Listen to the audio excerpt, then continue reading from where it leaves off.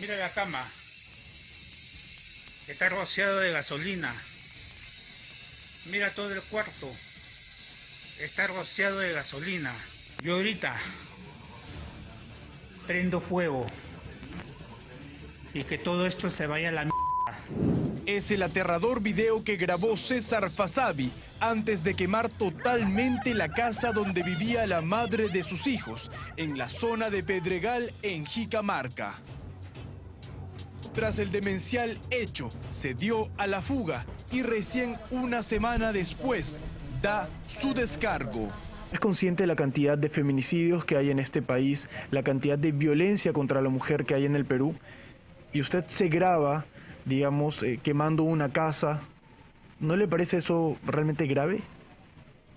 Soy consciente de ello, soy consciente de ello. Pero como le digo, en esa casa no había nadie, solamente estaba yo la principal, el principal motivo era de que yo, yo quedarme adentro.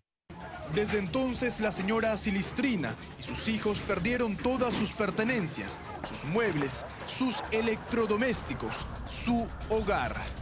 Sabe que perjudicó también a sus hijos, ¿no? Bueno, perjudicarlo psicológicamente sí. ¿Eso no le parece grave? Sí, sí, me parece muy grave pero ¿por qué solamente lo ven en mí? Señala que desde aquel día no puede salir a la calle porque recibe el rechazo de algunas personas.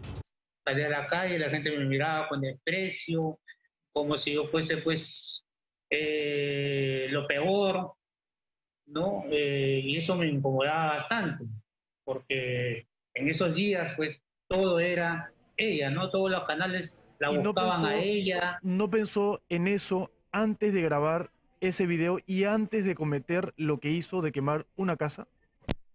Sí, sí, sí pensé todo eso, sí lo hice.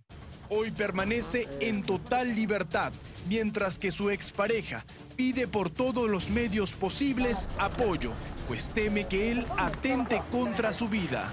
Eh, lamentablemente, al momento de la comisión del delito, el señor se dio a la fuga ya ha aparecido, eh, bueno, se ha presentado ya a la comisaría a ponerse derecho después de pasado el periodo de flagrancia. Estamos haciendo las gestiones para que el fiscal solicite la prisión preventiva o la detención preliminar mientras continúan la investigación.